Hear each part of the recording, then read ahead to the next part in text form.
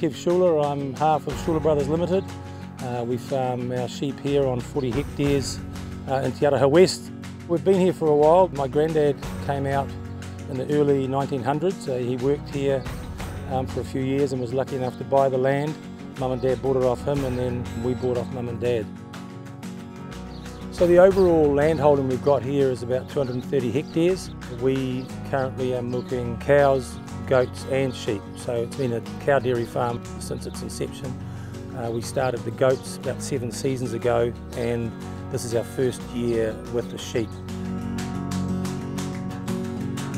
We've always been looking for diversity and ways to sort of sustain my brother and I and our families, you know, through, through farming. And the goats provided good strong cash flow and we saw the same opportunities with sheep. We like the concept of the sheep of having the lower cost um, farming system and pastoral base really, really suited what we want to do. Well, when we were first looking at what we required from a shed, we wanted to have good use of our existing capital and assets, so we wanted to recommission an old shed. We were after good flow so we could have good efficient milking and quick milking for two people, so that gives us plenty of hours in the day to do other work. Uh, we wanted good hygiene and good milk quality, uh, they were important to us as well.